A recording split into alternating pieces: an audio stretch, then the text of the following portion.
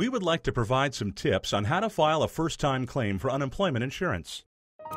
To get started, please visit our website at www.azui.com. Once there, you may apply for unemployment benefits or file a weekly claim. If you don't have internet access, you can use a computer free of charge at one of our one stop centers or DES Employment Service offices. Not only will the staff at those offices help you with your application, it is a great resource for job seekers, providing all sorts of information on employment and training services. Be careful where you choose to connect to our website. When you use free internet access provided by public business, you run the risk of having the confidential information you provide being returned to the owner of the internet service.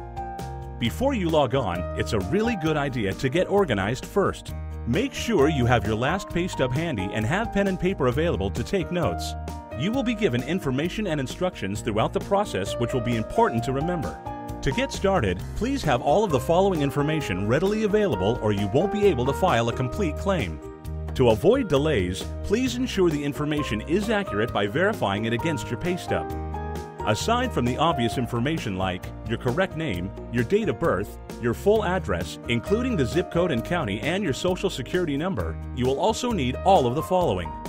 Your entire employment history for the last 18 months, the correct names of the employer or employers if there was more than one for that 18 month period, the approximate dates you were employed and the address of the employer's main headquarters, your last day of work and the name and address for that particular employer. You will also need to provide exact amount of any vacation pay, holiday pay, sick pay, or severance pay you received at the end of your employment. If you are receiving a pension from any employer, recent or past, you'll need the date you began receiving that pension and the monthly amount. In addition, if you have been in the military or are an ex-federal employee, you'll need the DD-214, SF-8, or SF-50 information as appropriate. When you complete your application online, please read through all the screens carefully and double check that you are entering all the information correctly. For more information on unemployment insurance benefits, visit our website at www.azui.com.